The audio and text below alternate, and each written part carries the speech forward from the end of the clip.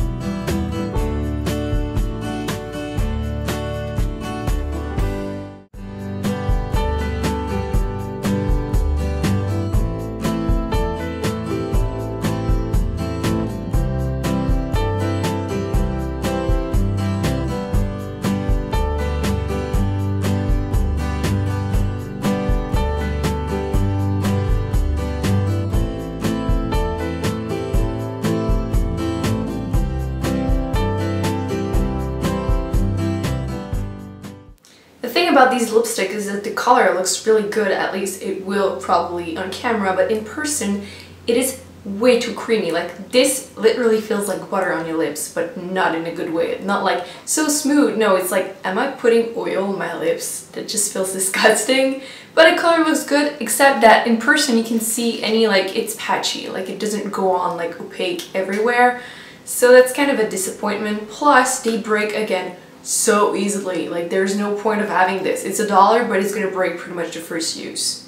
These lipstick are super creamy. Actually, I think they are too creamy. They kind of remind me of the NYX round lipstick, so if you like those one, you will like these.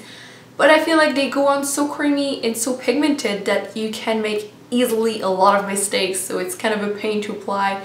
Plus, if you drink or something, they are going to smudge like crazy. So not my favorite for that. But for a dollar, you get great pigmentation and you can really play and have fun. The colors are really nice too.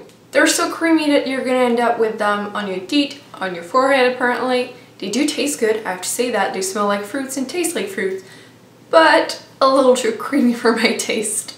They are kind of hit and miss for me because I feel like sometimes like the color is not evenly applied so you can have like spot, you can see your lips and the other one is like super pigmented. So it's kind of disappointing but that's pretty much it. I do think they smell nice, packaging is okay. The thing is that they are so inconsistent. One of them can be super creamy and opaque, one of them can be like kind of sheer, one of them can be like kind of patchy. The one I'm wearing right now is kind of a matte finish. Plus, they don't look whatsoever like the pictures online. Like, you really have to find someone doing swatches. That's one of the reasons I wanted to do the lip swatches because it's so hard to find pictures with the true color. So that's it guys, I hope you enjoyed this video. Don't forget to give it a big thumbs up if you like lip swatch videos so I know to keep doing them. Don't forget to subscribe if it's not already done and I will see you in my next video.